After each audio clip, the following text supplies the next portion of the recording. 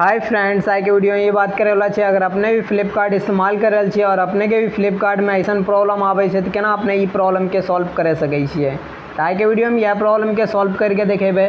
और इस चैनल पर पहली बार आयल छे तो चैनल के सब्सक्राइब लाइक बेल आइकन के बटन ज़रूर दबाई देब, कने के अपने के लिए ऐसा ऐसा वीडियो बनते रहिए और कोनो फ़ोन से रिलेटेड गूगल पे से रिलेटेड कोई भी जानकारी चाहिए तो हमरा कमेंट्स करके बतबे सकै छियै।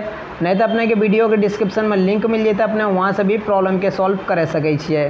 तो अपने के जे पूरा बैक चल जाए बैक जाए के बाद जे अपने के देख लै छै फ्लिपकार्ट ऐप कहाँ छै अपने के और वही पर फाइव सेकेंड तक क्लिक करके रखे छै फाइव सेकेंड पर क्लिक करके रखे के बाद अपने के ऐसे इंटरफेस देखे मिल जाए सबसे टॉप में ऐप इन्फो पर क्लिक कर दै छै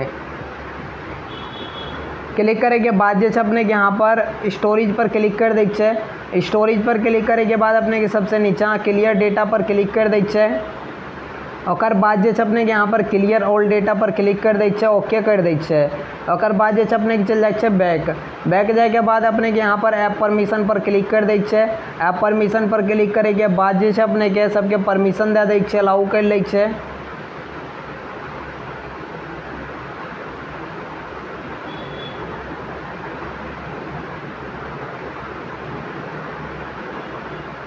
ओकर बाद जे छै अपने के चलि बैक। बैक जाए के बाद जे अपने के फ्लिपकार्ट में एरर जो आबै रहे, उ प्रॉब्लम सॉल्व हो जेतै। अगर अपने के प्रॉब्लम सॉल्व नहीं होइ छै, तऽ हमरा कमेंट्स करके बतबे सकै हमें रिप्लाई ज़रूर देब। और हमार वीडियो देखे के लिए share subscribe like bell icon के बटन ज़रूर दबाई देब। तब तक के लिए नमस्कार।